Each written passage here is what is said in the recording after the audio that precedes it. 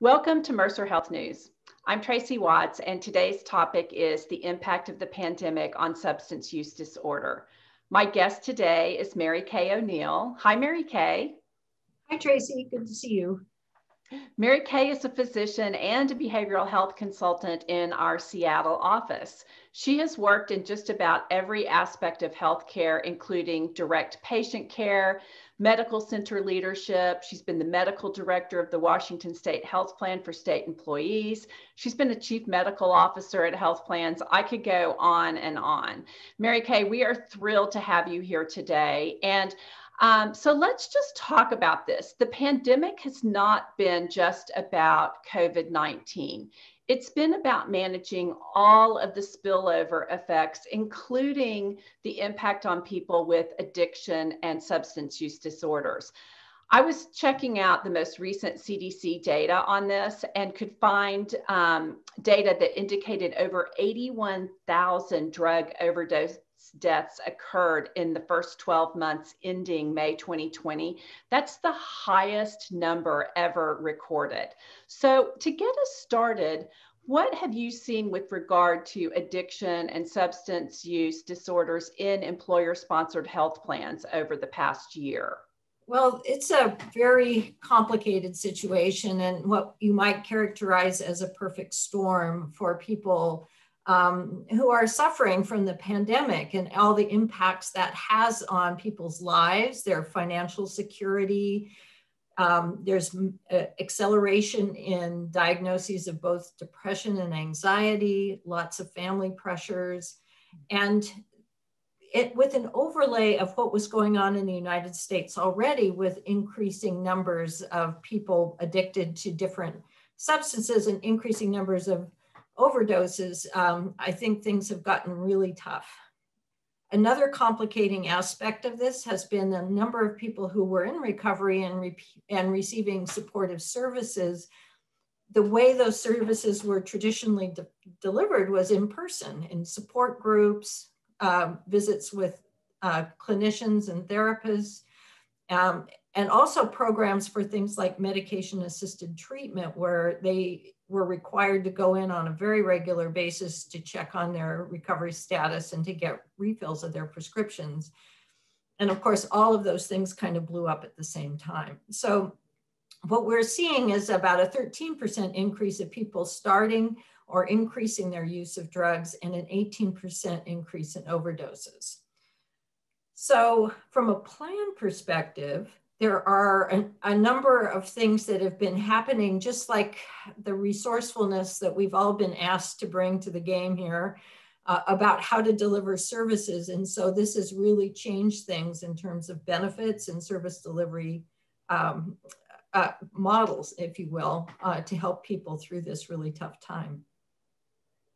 So, speaking of benefits and service delivery models, you work with some of our largest and most creative um, clients. What are they doing to try to help their plan members during this pandemic crisis? Well, I think that it's been really hard to focus on this as everyone has been trying to focus on remote working, safe workplaces, testing and you know now the vaccine rollout for for the pandemic. But i think there's an increasing awareness that we need to be able to approve in the benefit design and deliver from a network and vendor capability perspective services to people that have this condition. And of course um, this this has relied heavily on the telehealth or virtual care models that have come up for other kinds of conditions. So, one thing that's happened that's quite different is that people are able to be evaluated for their addiction status over a telehealth type of link.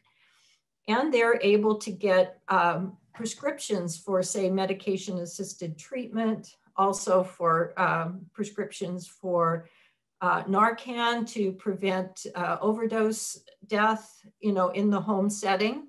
So all of those things have been really helpful. And then in the context of, of recovery support, many of the recovery uh, support activities, such as group settings and peer support, has gone to a virtual basis. So there's been a, a, lot of innovation, and I'm actually quite excited to see how that plays out going forward as we hopefully put this pandemic behind us. Yes, we definitely saw a huge expansion of virtual services. So, with all of that in mind, what advice do you have for employers? Well, I think it's really important to look at data, of course, to start with, to look at and see how people's populations are doing, to look at the vendor ecosystem, whether it's through their carrier or behavioral health vendors or other vendors that are emerging in the marketplace to actually very specifically address substance use disorder, and make sure that the resources are available easily um, for people who need that kind of help. I also want to put a plug in for some things that are happening out there in the marketplace. One is that there has been an emphasis recently on using a center of excellence concept for treatment programs. We have had a lot of struggle in this country, I think, both of having adequate resources for treatment, but also, as concerning to me, having access to high quality treatment programs.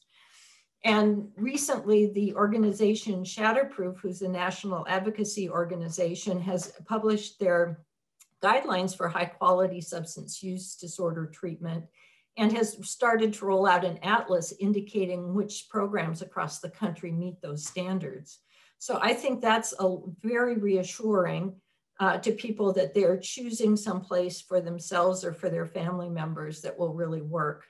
And so I encourage employers to be aware of these opportunities that are emerging in the market and make sure that those are very readily available to people when the need arises. That sounds like a great resource. Um, switching gears though, is this also a health policy issue? And if so, what do we need lawmakers and regulators to do to improve on the situation? I like to call um, this pandemic a set of accidental experiments, not the least of which is in the regulatory field. There are a number of things that were passed, you know, in an emergent way to help make sure people could get the care they needed through virtual channels and other things like that. And so we have now this data on how well these different experiments have worked. Some of this has to do with what I described as the service delivery model before, so people were suddenly able to provide uh, like Suboxone or methadone in multi-day uh, prescription sizes for people to take home. They could be evaluated online, they could be monitored online. And all of these things required regulatory changes. And so we now have a body of knowledge about how well that worked. And I think maybe historically we were fearful that things wouldn't go well in this kind of model. But now I think we have some evidence that actually may go better because it may work better in people's lives. So I'm hopeful that these kinds of changes will be evaluated carefully to make sure quality is, is maintained, but that you know there's an increased emphasis on access and what works in people's lives to support them as they deal with these issues. So those kinds of regulatory changes are important.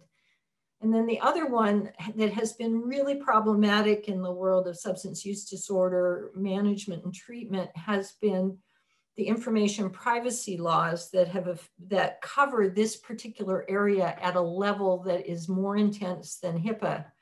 And it has made it so even within healthcare systems, people can't always access records to know that somebody is having this kind of issue.